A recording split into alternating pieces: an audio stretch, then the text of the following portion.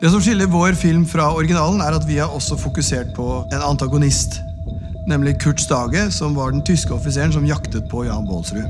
Og det gir også filmen et enormt momentum. Fordi han ble etter hvert helt lidenskapelig opptatt av å fange Jan Baalsrud. Og akkurat det er det vi trengte. Jeg sollten zwölf sein.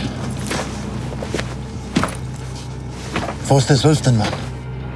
Og jeg har alltid vært kjempefan av Jonathan Rhys-Myers. Jeg har sett han gjøre gammel engelsk, jeg har sett han være Elvis Presley, jeg har sett han fullstendig omforme hele seg selv til å bli en helt annen person.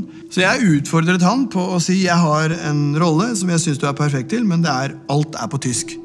Og da sa han det er ikke noe problem, det skal jeg lære meg. Og det gjorde han.